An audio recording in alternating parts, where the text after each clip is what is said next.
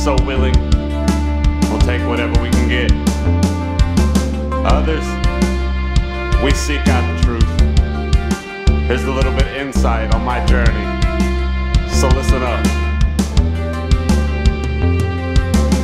You contemplate burning in the fiery lake.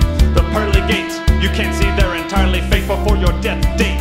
The fear of hell shall make you shake. Worry of the sealed fate leaves an ache from heaven's sake. The apple that ate gave the sin you all partake. The devil that you hate allowed to leave pain in his wake, but God can't be irate.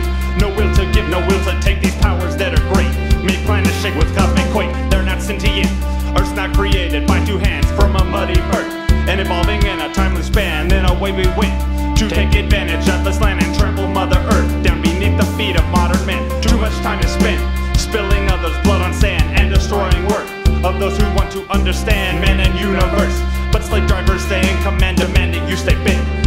and not what they have planned.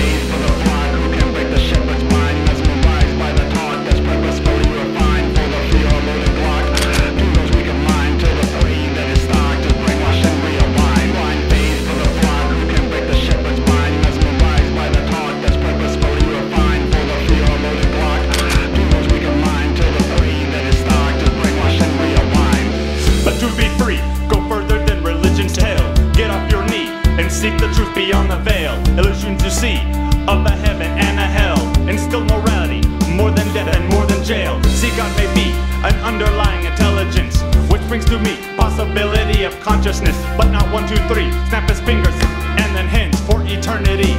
Said to be damned or to be blessed. Therefore, all creation was not of divine design, but by circumstance, as elements fell into line.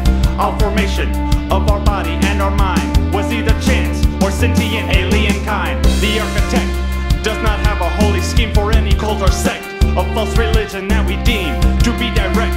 Messages once sent to claim, and yet men will neglect true science for a Christian.